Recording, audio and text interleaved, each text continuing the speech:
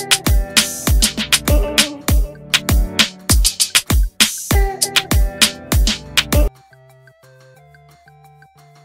าบประดนช้ำถูกพิพากษาไปแล้วศูนย์รายได้เตรียมหันหลังให้วงการปราบดอลอช้ำเหมือนถูกพิพากษาไปแล้วศูนย์รายได้เงินเก็บไม่เหลือเตรียมหันหลังให้วงการคงไม่เหมาะแล้วฝากถึงสรยุทธ์อยากรู้มาถามได้วันที่ 7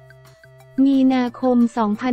2566 ปราบประดนสุวรรณบาง นักแสดงรุ่นใหญ่เปิดใจเตรียมหันหลังให้วงการบันเทิงหลังถูกแจ้งข้อหาความผิดฟอกเงินคดีแชร์ฟอเร็กซ์ 3D โดยคิดว่าวงการมันคงไม่เหมาะกับผม ผมมาจากลูกชาวไร่ชาวนาเด็กบ้านนอกคนหนึ่งก็ไม่เป็นไรที่จะกลับไปเป็นเหมือนเดิม ตอนนี้ก็กลับมารับงานแสดงเต็มๆแล้ว จริงๆ งานนี้เป็นงานที่คุณบอยทะกลเกียรติวีรวันท่านเมตตาให้ผมทำอย่างที่ทราบกันว่า ละครเรื่องนี้ถูกเลื่อนทุกคนก็รอคอยกันมานานมาก ถือว่าเป็นการเก็บที่เรามีอยู่แล้ว ส่วนงานที่ทำอยู่ก็มีปิดไปหลายเรื่องอ่านข่าวปราบประดนบุก DSI แฉทนายฮอ เรียกเงินหลักสิบล้านเผยมีหลักฐานอ่านข่าวทนายเฮงออกโรงชี้แจงโต้ปราบประดนเตรียมฟ้องกลับแล้วข่าวที่เกิดขึ้นเป็นผลกระทบไหม กระทบครับ กระทบเต็มเต็มยิ้ม โดนแคลเซลไปเยอะแค่ไหน ปกติชีวิตผมถ่ายละครประมาณ 5-6 เรื่องต่อสัปดาห์ละครใหม่ ๆ และภาพยนตร์ที่เข้ามาที่ติดต่อไว้ก็ยกเลิก ผลกระทบจากข่าวที่นำเสนอไปสองเดือนช่วงนั้นแหละยิ้มเหมือนกับว่าผมถูกพิพากษาไปแล้วในโลกของโซเชียล ตัวอย่างของผมมันชัดเจนว่าเมื่อเราไม่ผิด เราก็พยายามต่อสู้เรียกร้องความยุติธรรมให้กับตัวเอง ถ้านับการสูญเสียรายได้จะประมาณเท่าไหร่ ช่วงเวลาที่ผ่านมาที่ผมโดนผลกระทบเวลา 6 เดือนได้ ซึ่งนั่นก็คือล็อตหนึ่งของละคร ก็หลายล้านอยู่ครับ ยิ้ม กระทบถึงเรื่องบ้านและชีวิตส่วนตัวภาระประจำเดือนของผมจะมีการผ่อนทุกอย่าง ไม่ได้มีธุรกิจอื่น เพราะฉะนั้นรายจ่ายประจำเดือนของผมมีรถ คอนโดมิเนียมตัวเองบ้านที่ลูกๆ ผมอยู่พ่อที่อยู่นครสวรรค์ แล้วก็ครอบครัวของคุณแม่น้องจิกกีที่จันทบุรีที่ผมต้องดูแลรับผิดชอบอยู่ ตอนนี้คุณพ่อผมก็ดูแลไม่ได้แล้ว ต้องปล่อยให้ตามมีตามเกิด คุณแม่กีก็ต้องปล่อยบ้านของลูกๆ ผมก็ไม่ได้ส่งให้ 3-4 เดือนแล้ว ตอนนี้ก็ประคับประคองชีวิตตัวเองให้รอดไปวันๆก่อนครับ ต้องเอาเงินเก็บมาใช้ ไม่เหลือแล้วครับ ละครที่ทยอยปิดไปเขาจ่ายมา คือลักษณะการทำงานของละครมันจะเป็นแบ่งจ่าย 5% 10%เป็นงวดงวด ซึ่งนั่นคือค่าใช้จ่ายในแต่ละเดือน ละครเก่าปิดไปเรื่อยๆ มันเหมือนหมุนไปเรื่อยๆตอนนี้ไม่มีงานใหม่เข้ามาทดแทน เพราะถูกแคนเซิลไป จะนัดวันถ่ายแล้วอะไรแล้วก็ถูกยกเลิกไป โดยเฉพาะที่ผมเสียใจ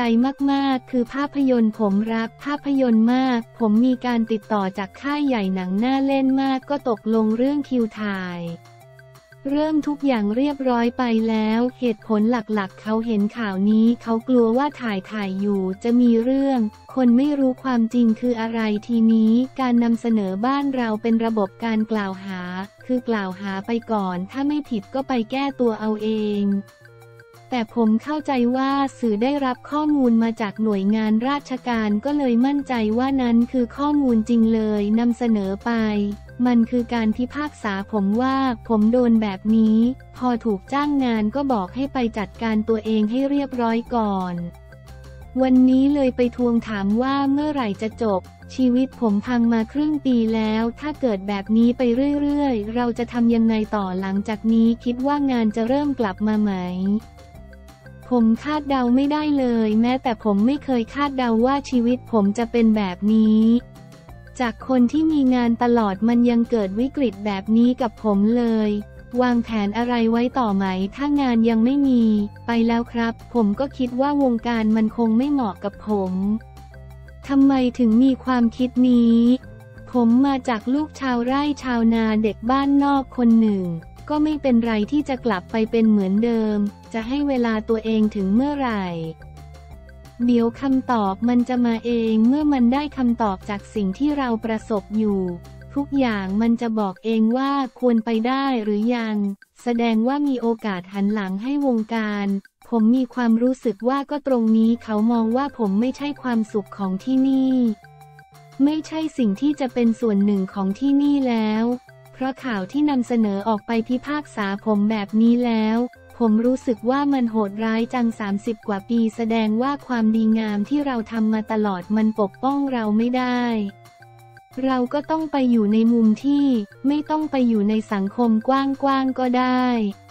ไปอยู่ที่แคบๆก็ได้คิดว่าต้องใช้เวลาพิสูจน์อีกนานไหม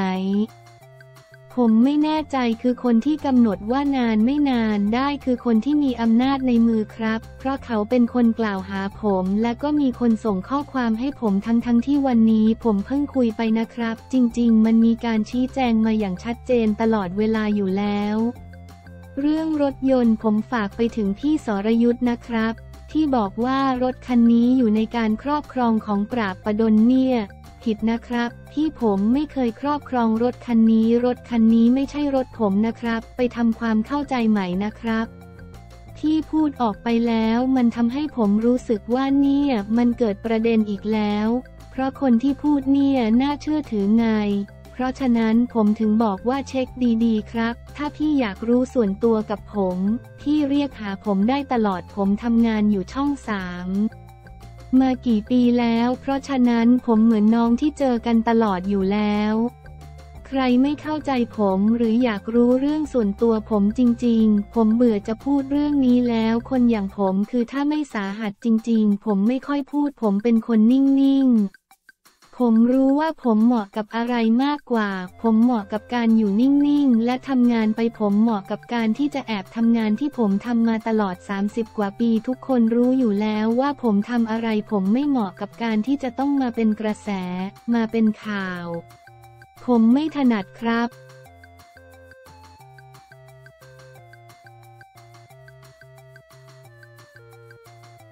ชายเหวอ โดนโยงข่าวคำใบ้แมนแมนทำสาวท้องลั่นชีวิตมีแค่ครอบครัวรับห่วงวิกกี้เซ็กซี่ชายเหวอ โดนโยงข่าวคำใบ้แมนแมนทำสาวท้อง ลั่นชีวิตมีแค่ครอบครัวรับห่วงวิกกี้อวดเซ็กซี่ แต่สนับสนุนเพราะสวยจริงจากกรณีที่เพจอีซอขยี้ข่าวซองออกมาโพสต์ว่า ซุ่มเงียบลัดฟ้ามาเคลียร์เรื่องทรัพย์สินเสร็จก็คงแวะไปเยี่ยมเมียใหม่ เผลอๆกลับมารับผิดชอบแมนแมนสมชื่อที่ไปทำใครเข้าท้อง แต่มีโอกาสกลับมาบ้านทั้งทีไม่คิดจะเซฮายบอกนักข่าวหน่อยหรอ ก่อนจะหย่อนคอมเมนต์เพิ่มเติมว่าคำใบ้อยู่ในโพสต์ งานนี้ทำเอาชาวเน็ตแห่โยงดาราชายที่มีชื่อเข้าขายตามคำใบ้ หนึ่งในนั้นคือชายชาตโยดมหิรัณยัษฐิตินักแสดงและผู้กำกับชื่อดังติดโผด้วย ล่าสุดเจอเจ้าตัวในงานแถลงข่าวเปิดโปรเจกต์ เมืองไทยรัชดาลัยเทียเตอร์ และการเปิดตัวละครเวทีฟอร์มยักษ์คิดสวัสด The Musical ที่โรงละครเมืองไทยรัชดาลัยเทียเตอร์ชั้น 4 เอสพลานาด จึงถือโอกาสตามถึงประเด็นข่าวที่เกิดขึ้น โดยชายกล่าวว่า สงสารผู้ชายคนนั้นมาก แต่ไม่ใช่หนูแน่นอน หัวเราะ ไปไหนก็ไปกับภรรยาตลอดชีวิตทุกวันนี้มีแค่ไปทำงานแล้วก็กลับบ้านอยู่กับลูกกับภรรยาแค่นั้นเลยอันนี้ได้ยินครั้งแรกเลยที่ว่ามีชื่อเป็นอักษรย่อ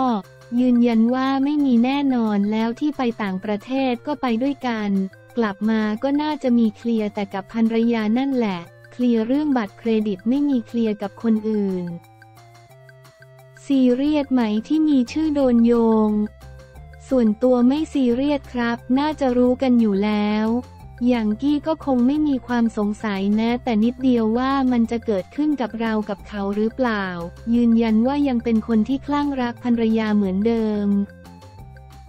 มันอย่างเดียวในชีวิตชายแล้วมั้ง คือเมื่อก่อนจะรู้สึกว่าเราทุ่มเทให้กับงานที่สุด แต่ตั้งแต่มีลูกมันไม่มีอะไรจะดึงความสนใจหรือความทุ่มเทอะไรของเราไปจากครอบครัวได้แล้ว อะไรที่ทำให้ความรักไม่ลดน้อยถอยลง มันก็ต้องมีแซกกันบ้าง หัวเราะ อันนี้เป็นเรื่องจำเป็นสำหรับชีวิตครอบครัว เรื่องแซบมันก็ต้องมีกันอยู่แล้ว การมีลูกมันไม่ใช่การเปลี่ยนสถานะ แต่มันคือการเพิ่มเติมความสุขให้เติมเต็มมากขึ้น เพราะฉะนั้นเรายังมีความเป็นสามีภรรยากันอยู่ ก็ต้องรักษาตรงนั้นไว้ให้ดีที่สุด เรียกว่าดูแลภรรยาและลูกไม่บกพร่องเลย มันก็อาจจะมีพร่องบ้างแหละ เคยมีที่ขี้จะแบบเราไม่ได้ออกไปกินข้าวข้างนอกกันสองคนตั้งนาน ซึ่งมันก็ใช่จริง ๆ เพราะความที่เราทำงานอะไรอย่างนี้ พอกลับบ้านไปก็อยากที่จะใช้เวลาอยู่กับลูกบ้าง แต่พอเราเริ่มทำตัวเคยชินไปสักพักหนึ่ง ที่เขาก็จะคอยสะกิดว่าเราควรจะออกไปไหนไปทำอะไรด้วยกันบ้าง ตรงนี้มันเลยทำให้เราไม่เฉยเมยกัน แต่คุณภรรยาก็เสียมากกับทุกครั้งที่ใส่บิกินี่มันต้องอาศัยการทำใจนิดนึงเหมือนกัน หัวเราะ คือชายห่วงของชายอยู่แล้วมาตั้งแต่ไหนแต่ไร ไม่เคยอยากให้เขาไปถ่ายไปโชว์ไปเผื่อแผ่ให้ใคร แต่ว่ามันเป็นสิ่งที่เขาตั้งใจจริง ๆ และเป็นสิ่งที่เขารักเขาชอบเขา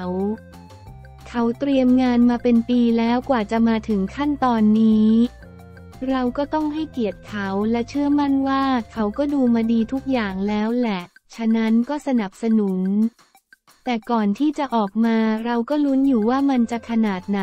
หัวเราะที่เขาทำชุดว่ายน้ำเอง ซึ่งจ้างนางแบบมาถ่ายให้อย่างเดียวก็ได้ จะต้องเอาตัวไปอยู่ตรงนั้นด้วยหรือเปล่า จนกระทั่งเขาบอกว่าถ้าเขาเป็นคนทำเป็นเจ้าของเป็นคนขายเอง เขาก็ต้องเชื่อในโปรดักต์ของเขา เขาก็ต้องใส่เองเราก็เลยโอเคก็ได้ หัวเราะ มันทำอะไรไม่ได้ แต่ก็ต้องสนับสนุน เพราะว่าสวยจริง ๆ พอเห็นชิ้นงานที่ออกมา ผมก็ภูมิใจในตัวเขาที่ไม่เคยทำอะไรครึ่งครึ่งกลางกลางเลย แล้วเขาเต็มที่กับมันมากครับ